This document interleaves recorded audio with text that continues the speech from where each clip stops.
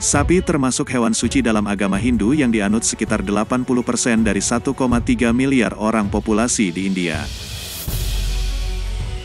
Tak heran jika banyak warga yang sangat melindungi binatang itu. Kasus baru-baru ini terjadi dua pria di India babak belur dihajar masa setelah dituduh hendak menyembeli seekor sapi. Akibat dari amukan tersebut, salah satu dari mereka dilaporkan meninggal dunia.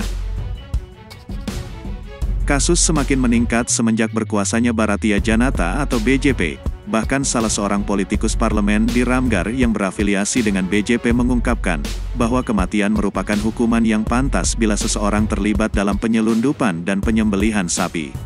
Ia menambahkan pula bahwa penyelundupan sapi lebih buruk daripada terorisme. Namun apa yang terjadi sekarang? Karena sapi dianggap sakral dan tidak boleh dibunuh, maka populasi sapi pun meningkat drastis, dan saat ini warga pun sudah mengeluhkan karena terlalu banyak populasi di daerah tersebut sehingga sangat mengganggu aktivitas warga. Bagaimana pendapat kalian?